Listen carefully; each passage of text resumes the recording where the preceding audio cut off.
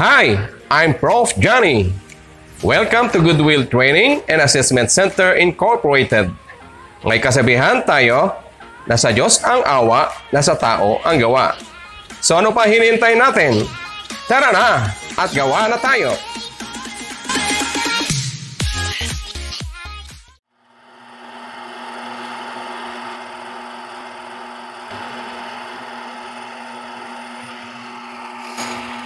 Hi, this is an example of a thread.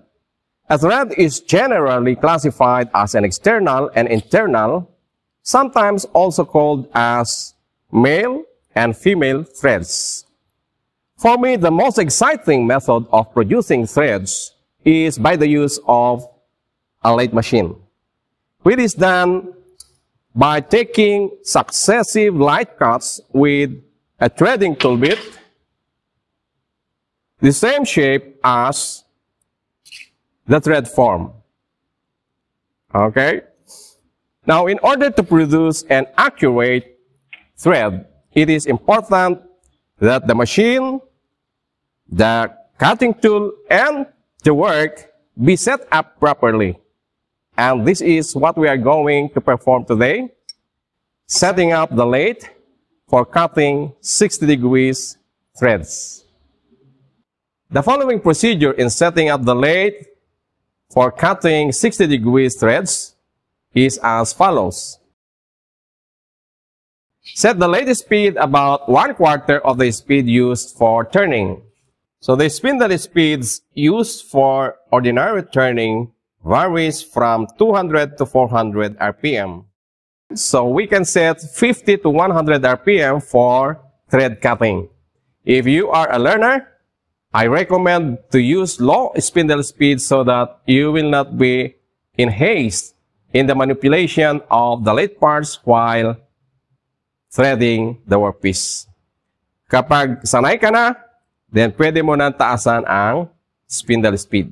Step number two, set the quick change gearbox for the required pitch in the number of threads per inch or millimeters.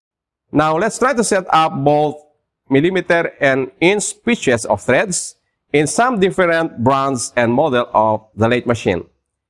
This is the Masak brand lathe, and the first thing to do is to check the thread chart and find the whole number that represents the pitch in the number of threads per inch and millimeters. Okay? So this is the thread chart of the lathe machine. So, tingnan nyo ito. This symbol represents the millimeter threads. So, mm and the symbol of thread.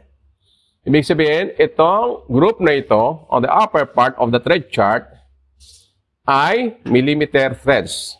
Okay, ito naman, the symbol for inch threads. Okay, so lahat tong group na ito ay inch threads or threads per inch. Okay, on the lower part, ito naman yung feed rate na tinatawag natin. Okay? This symbol. Feed rate per revolution for automatic feed. Okay? Now, let's try to set up 3 millimeter pitch of thread. Okay? Dito sa metric. So, ito yung 3 mm. Then, tingnan natin vertical column and horizontal. Okay? Vertical column. Okay? Tapat niya is 5. That means, yung gear number 5 ang iset up natin sa loob ng quick change gearbox na ito. Okay? So, ito naman yung tumbler lever of the lathe. Spin type. Yung iba kasi ay hindi dipihit kundi ditusok. Now, bago natin mapihit, ay i-unlock muna natin tong lever na to. Then, iset na natin yung number 5. Okay, 1, 2, 3, 4, 5. Pihitin natin, nag-click-click bawat number. Then, it should be in line with the indexing line, tong arrow na ito. Yan, tapat na siya. Then, i-lock na natin tong lever na ito so that the number 5 gear inside the quick change gearbox will engage on its mating part. Yan. Okay? Then, tingnan natin horizontal column along the 3 mm pitch of thread. letter S. Okay, find the lever with letter S. Okay, ito. Itong may kulay orange, dapat tatapat sa letter S. Okay. Then, another for the horizontal column, letter A. Then, another for the horizontal column, Roman numeral number 1. Okay, mamaya, unahin natin tong letter A. So, nasa ang letter A? The letter A represents the set of gears which is located outside the quick change gearbox. So, nandito sa loob na ito. So, let's open this change gearbox. Okay, so makikita na natin. Nandito ngayon yung gear chart with letter A, B, C, D, E, F. So, ang kailangan natin yung letter A. So, it consists of set of gears. Okay? We have the 76th gear, which represents the spindle gear. Then, 90th gear and 60th gear, or N1 and N2, which are the intermediate gears. And 140th of gear, which also represents the lead screw gear. So, this set of gears will connect the spindle down to the lead screw of the lathe. Okay? So, tingnan natin kung tama yung nakaset up dito sa change gears or tawag natin set of gears na nandito sa gear train outside the quick change gearbox. So, 76 teeth sa spindle gear. Ayan, 76 teeth. Tama? Then, for the two gears, 90 and 60 teeth, nasa intermediate gears, ito yung 90 nasa loob, and yung nasa labas ay 60 teeth. So, tama. Then, for the lead screw gear is 140 teeth. Ito. Dapat 140 teeth. Yan. Okay? All gears set on these change gears outside the quick change gearbox are correct. Now, bakit kailangan nating i-check ang nakaset up na gear dito sa change gear or set of gears that connects the spindle and the lead screw para sa letter A. Okay? Dahil posibleng ang nakaset up na gears para sa letter A ay hindi yun ang nakalagay at hindi rin lalabas ang required pitch of thread. Bagamat quick change gear ang late na ito, ngunit maraming choices para sa set of gears outside the quick change gearbox kagaya nito. Itong column na ito ay combination ng inch and millimeter threads. So, sakop na niya ang inch and millimeter threads with the set of gears of 76 teeth, 84 teeth, 88 teeth, and 104 teeth. Kaya lang, hindi yun ang naka-set up dito sa change gears natin. So, let's continue on the horizontal column. We have the Roman numeral, which is number 1. So, hanapin natin lever na may Roman numeral, number 1. Okay, ito. So, dapat itong dot natin with color orange ay tatapat sa letter R, number 1. Sa number 1. Yan. Okay, so nakaset up na tayo sa millimeter thread which is 3 mm. So, now let's try for inch threads. We will set up 12 TPI. So, dito na tayo sa inch threads. Okay, the same manner. Tingnan natin yung vertical column. So, number 5. So, tingnan natin sa tumbler lever. So, number 5. So, parehas na. Then, sa horizontal column, letter S. Okay, the same. Then, another, letter A. So, the same. Letter A din kanina. Sa millimeter thread. Then, the only difference is, on this column, it should be number 2. Okay, take note. The number 1 in Roman numeral represents the millimeter threads. And number 2 represents the inch threads or threads per inch. So, dapat isi-shift natin yung lever from 1 to 2 or from millimeter to inch threads. Okay, ito na. From 1 to 2. Okay? Ayan, nakaset na rin sa inch threads. 12 threads per inch. Now, let's try to set up thread pitch in the other lathe machine, the Takisawa lathe machine. This is a Takisawa lathe. Okay. Here is 3 mm pitch of thread. Okay, 3 mm. Okay, tingnan din natin vertical column, letter B. So, hanapin natin lever na may letter B, this one. Position natin sa letter B. Okay. Then, from our horizontal column, we have the number 1. So, number 1 is the number of gear that should be positioned or engaged inside the quick change gearbox. So, ito, may number 1 to 6. Ito yung tumbler lever. Ugutin natin. Then, i-slide natin papunta sa tapat ng number 1. Ayan. Okay? Then, again, on the horizontal column, we'll find the set of gears. Okay? We have 60 teeth, 75 teeth, and 80 teeth.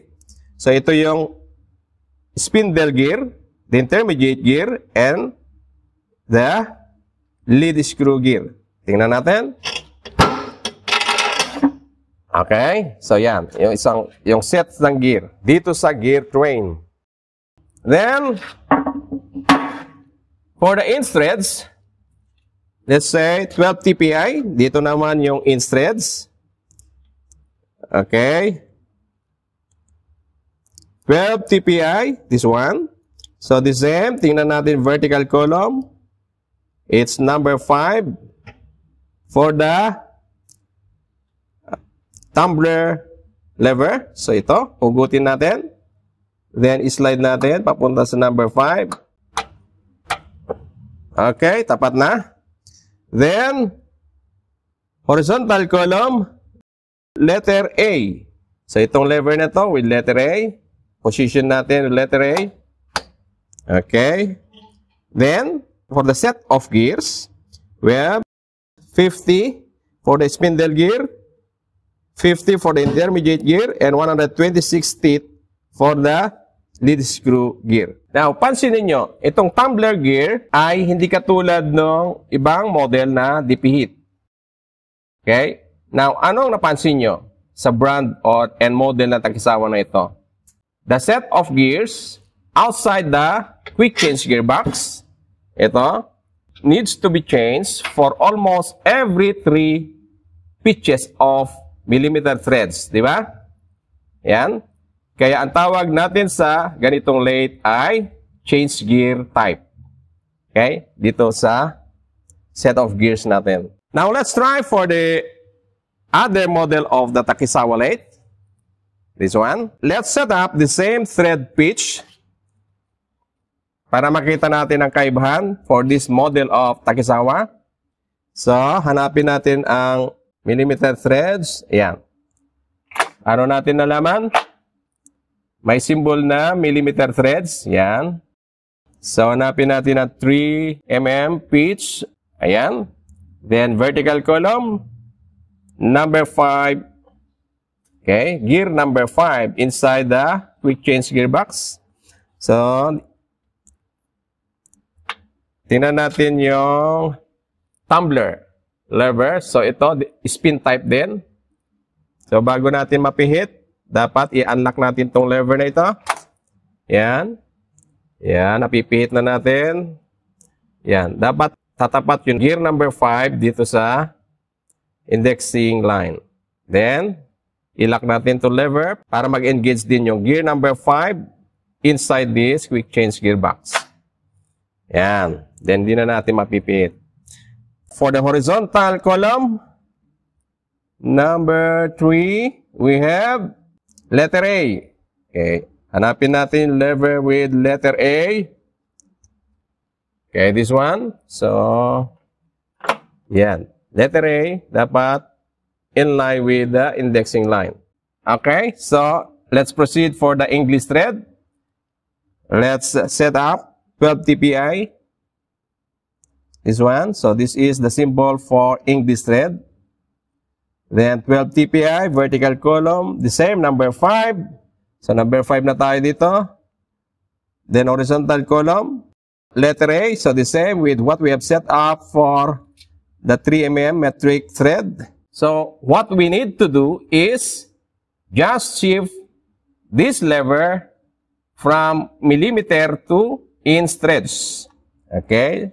So nasa millimeter tayo. Punta tayo sa inch threads. Itong symbol ng inch. Okay. So ano naman ang napansin nyo sa Takisawa model na ito? Wala tayong binago sa set of gears dito sa labas, di ba? Pareho lang ang gears sa mm at inch threads. Tingnan nyo itong thread chart. Yan. Sa mm, For the spindle gear, we have 27 teeth. Intermediate gear, 111 and 93.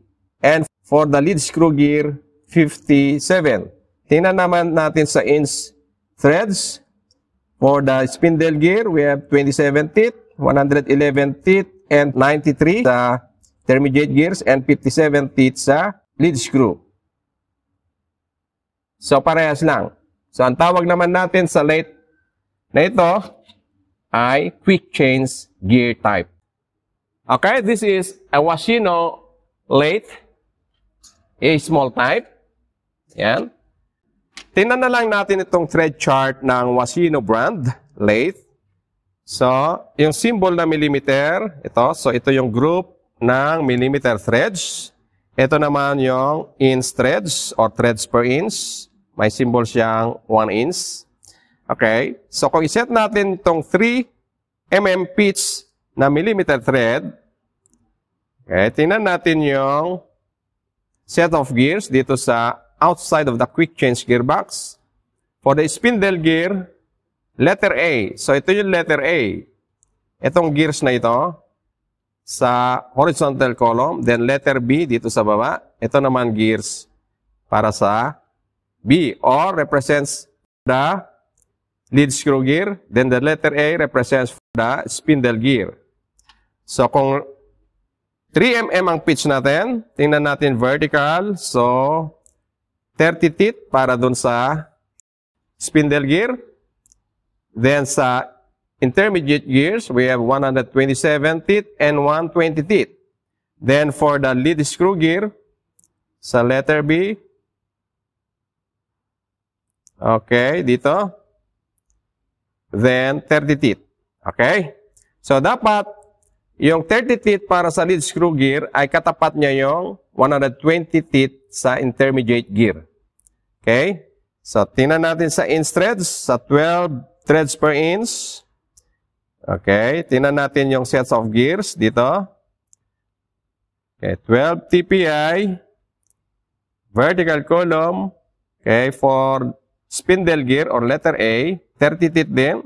Then for the uh, lead screw gear, which is letter B, 30 teeth. Okay, parehas. Ngayon, tingnan natin ang kaibahan niya doon sa set of gear para sa millimeter threads. Okay, yung, yung lead screw gear para sa inch threads, ang katapat niya ay 127 teeth. Okay? Yan. Kanina, ang katapat naman sa millimeter thread ay 120 feet. Okay, tingnan natin yung set of gears dito sa loob ng change gearbox. Okay, so ito yung nakaset up sa inches threads. Okay, so itong 30 teeth gear para sa lead screw, ang katapat niya ay 127 teeth sa intermediate gear. Ito yung 127 teeth. So, ang nakaset up na ito ay para sa inch threads or threads per inch. So, i-reposition natin. Ugutin natin, then itapat natin dito sa 120 teeth sa loob. Okay, ikpitan na natin. Oh. So, magkatapat na ang 30 teeth sa lead screw gear sa 120 teeth sa intermediate gear. So, nakaset up na tayo sa millimeter threads. Okay, so ano napansin nyo sa Wasino brand na small type? Meron tayong isang gear na na-reposition, yung gear para sa lead screw, which is the 30 teeth. Hinugot natin, inilipat natin sa 120 feet para sa katapat niya sa intermediate gear. But in other model of Wasino lathe, it is easier to shift that gear from millimeter to inch or from inch to millimeter. Tingnan natin. So this is another model of Washino brand, a bigger size than the first one that we set up.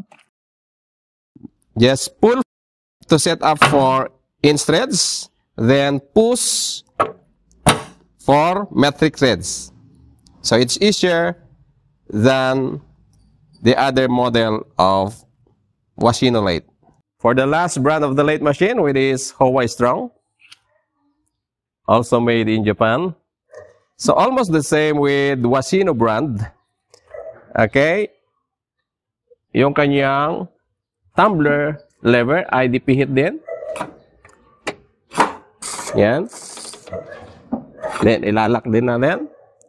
Then, parehas halos sa Wasino brand na huli nating chinek.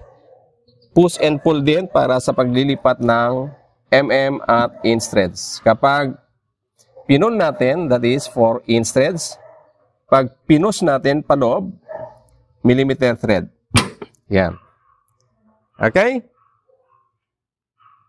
So, anong tawag natin dito? At saka dun sa Wasino brand kanina, na parehas push and pull, that is semi-quick change gear type lathe machine. Kasi meron tayong isang gear na sinishift.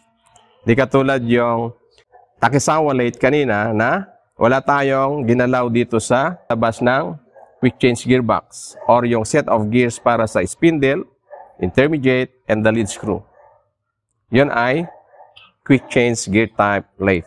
Okay, for the next step, engage the lead screw. I will rotate the chuck by hand and make sure that the lead screw revolves. So, mag-shift dapat. Ang iikot this time ay yung lead screw. By positioning this lever from the automatic feed to threading. Okay? Yan. Then I will rotate the chuck by hand. Yan. Umikot na ang lead screw. Okay? Next step. Secure a 60 degrees threading tool bit. Check the angle using a thread center gauge. This is a 60 degrees threading tool bit. I will now check its included angle by the use of a center gauge. Okay, exactly. X. Set the compound rest at 29 degrees to the right, to the left for a left hand thread. Okay, I will now position the compound rest to 29 degrees. Mula rito sa 0 na yan. 10, 20,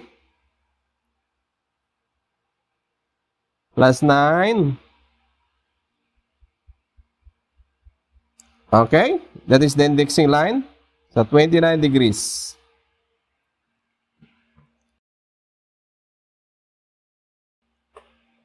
Then I will now lock the compound rest.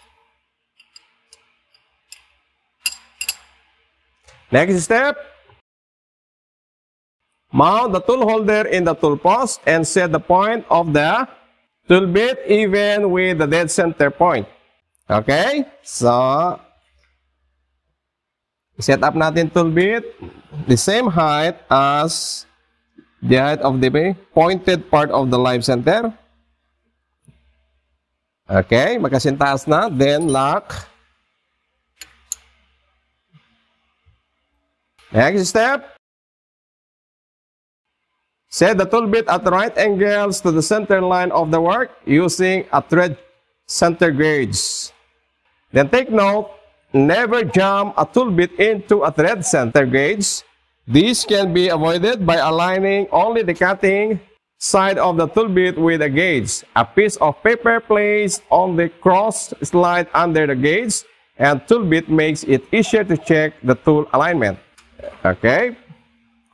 Pwede tayo maglagay ng white paper sa ilalim ng tool bit Then, luwagan natin ang tool post. Then, this is the center gauge.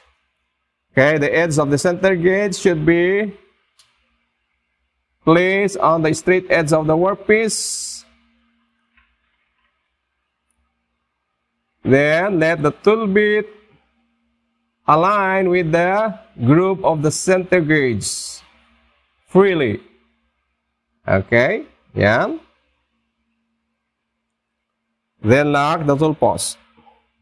Okay, so, kita nyo? Naka 90 degrees na yung tool bit natin to the axis of the workpiece by using the center gauge.